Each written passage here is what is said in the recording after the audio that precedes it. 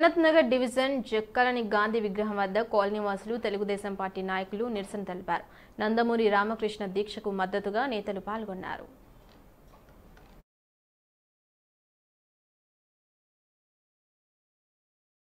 తెలుగు ప్రజల అభివృద్ధి కోసం తెలుగు ప్రజల కష్టాలను తీర్చే నాయకుడు చంద్రబాబు నాయుడు అని నందమూరి రామకృష్ణ అన్నారు. చంద్రబాబు అరెస్ట్ను తీవ్రంగా ఆయన ఖండించారు. త్వరలోనే సైకో ప్రభుత్వం పోయి మళ్ళీ టీడీపీ ప్రభుత్వం అధికారంలోకి వస్తుందని తెలిపారు.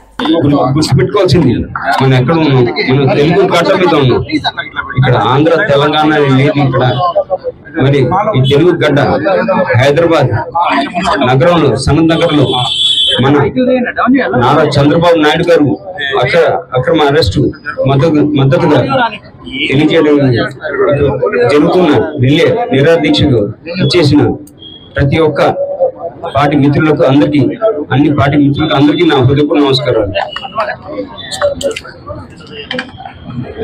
మిత్రులు పెట్టి అక్రమం అక్రమంగా మన ఏపీ రాష్ట్రాన్ని దోచుకునేవాడేమో ప్యాలెస్లో ఉన్నాడు.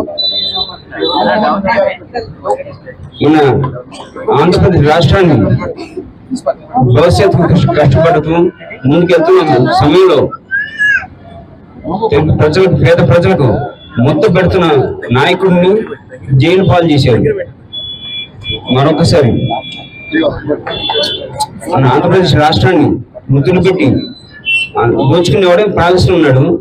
మన పేద ప్రజలకు ముద్ద పెట్టినోడేమో జీర్పాలేరు నా చంద్రబాబు నాయుడు.